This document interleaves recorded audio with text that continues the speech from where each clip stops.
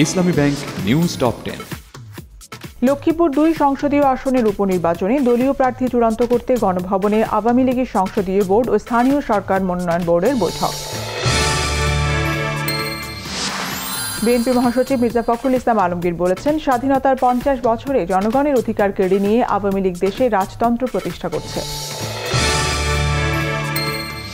মৎস্য ও প্রাণী সম্পদ মন্ত্রী সম রেজাউল করিম বলেছেন, ইতিহাস বিকৃতির কারণেই বিএনপি ধীরে ধীরে নিশ্চিহ্ন হয়ে যাচ্ছে। তথ্যমন্ত্রী ডক্টর হাসান মাহমুদ বলেছেন, পাকিস্তানিদের মতো বঙ্গবন্ধুর সাত মার্চের ভাষণ বুঝতে পারেনি বিএনপিও। তাকে হত্যার চেষ্টা চলছে বলে অভিযোগ করেছেন নোয়াখালীর বসুরহাট পৌরসভার মেয়র আব্দুল কাদের মির্জা। জানিয়েছেন, নেত্রীর নির্দেশ ছাড়া তিনি আর কোনো কর্মসূচি দেবেন না।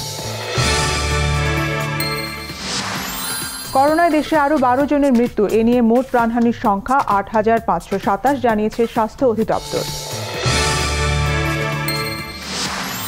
বগুড়া ও সাভারে আগুনে পুড়ে দুইজনের মৃত্যু। গাজীপুরে গ্যাস সিলিন্ডার বিস্ফোরণে একই পরিবারের তিনজন দগ্ধ। যুক্তরাষ্ট্রে এখনই অ্যাস্ট্রাজেনেকার টিকা দেওয়া হবে না, জানিয়েছে হোয়াইট হাউস। জনসন অ্যান্ড জনসনের টিকার জরুরি প্রয়োগের অনুমোদন দিয়েছে বিশ্ব স্বাস্থ্য সংস্থা।